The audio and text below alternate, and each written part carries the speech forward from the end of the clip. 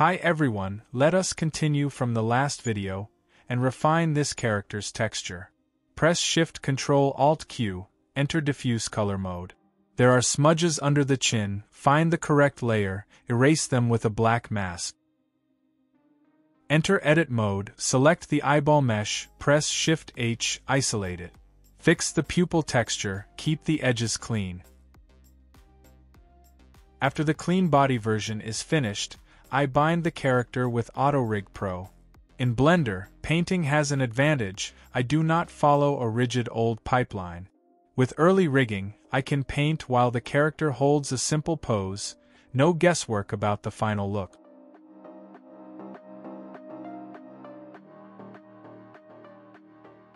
Create a new camera, right-click between the sidebar and the Properties panel. Choose Vertical Split to create a new viewport. Press numpad 0, enter the camera view. Open camera data, go to viewport display, increase Passepartout. Outside the camera view turns black.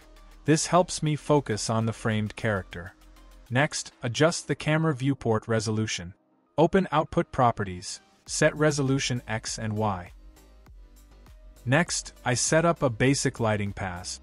The goal is to check textures with neutral light. Keep the key light neutral, low saturation. Use pure white or a slight daylight temperature, avoid strong color cast. Place it about 45 degrees, front side and above. Add a rim light from behind if needed, to separate the silhouette. Then I give the character a basic standing pose. Set one keyframe for the A pose, and one for the standing pose, so I can switch quickly while painting. Click the plus button, add a solid color layer, rename it, choose white, click OK. Click the plus next to mask on this layer, choose new image mask, set the color to black, click OK. Paint a white edge on the shorts, and add a simple logo. Next I start designing the tattoos on the character. I made these tattoos in Photoshop, the software is just a tool, you can also use Procreate or Blender's Grease Pencil. If you are interested, I can make a separate tutorial about Grease Pencil. In some tattoo designs, for example this tombstone, I first block out a simple model in Blender, find a good angle, take a screenshot. In Photoshop, I trace the outline, add grass and other details, keep the shapes clear. When it is done, press Ctrl plus I to invert, use it as an alpha map, save the image. After designing all tattoo images, return to the model. Click the plus, create a solid color layer, name it, pick a tattoo color, click OK. Move this tattoo layer into a new tattoos group, keep layers organized. Select the tattoo layer, click the plus next to mask, choose New Image Mask. Set resolution to 4K, keep the color black, click OK. Choose the Paint Hard Pressure brush. In Stroke, set Stroke method to Anchored.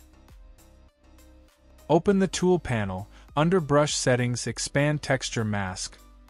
Click New. Go to the Texture tab, click Open, load the tattoo alpha image you saved. Switch to Texture Paint mode from the menu. The left side shows the UV area, the right side is the 3D view. Find the triceps UV, make sure the tattoo layer's mask icon is active. Click and drag on the UV, stamp the tattoo to the correct place on the model. After placing the skull tattoo, go back to Texture Mask.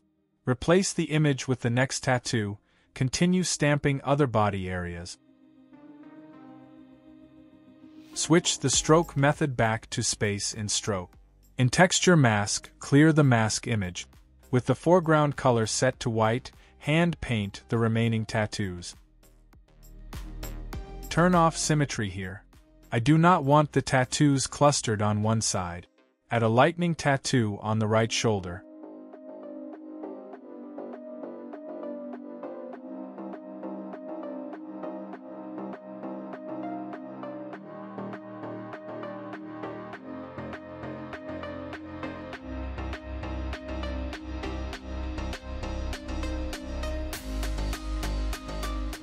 For tattoo rendering, I keep the edges crisp. so the design reads clearly from a distance.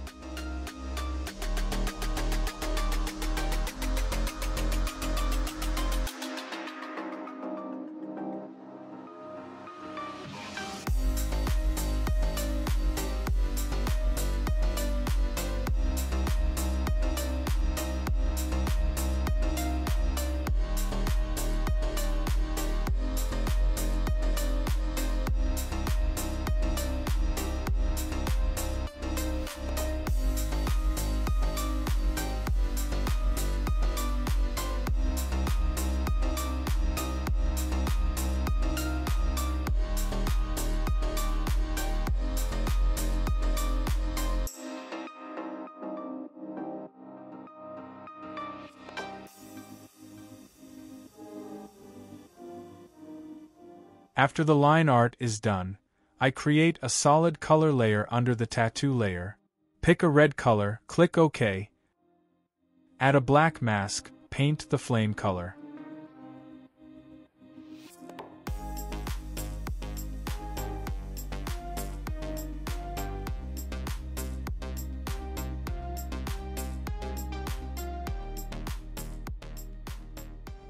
Then I create another layer with a lighter tone, I paint the flame edges, and tint other tattoo areas lightly.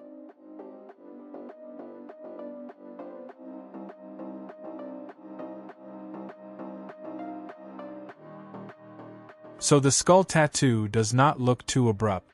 I return to the tattoo line layer. I add shadow hatching on the wings and along the spine.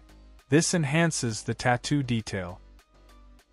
Next I create another solid color layer, I choose a grayish skin tone, expand channel, set the color blend mode to multiply, lower the opacity, and glaze subtle shadows over the tattoos.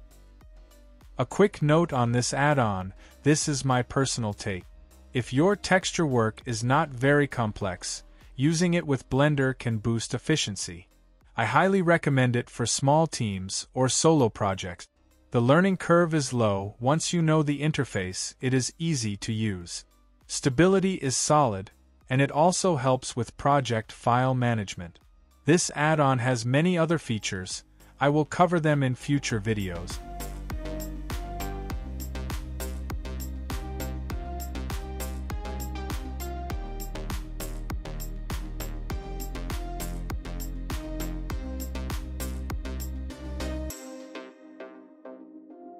When the arm comes down, the flame tattoo deforms in a strange, complex way.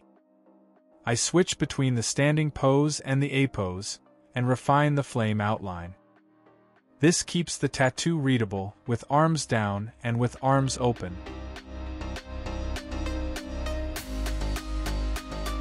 That wraps up the full texture workflow for this base character. You can download the character from the link below. The Blender file keeps the Ucupaint layer history, so edits are easy. If you enjoyed the video, please like, subscribe, and turn on the bell. You won't miss future episodes. See you next time, bye.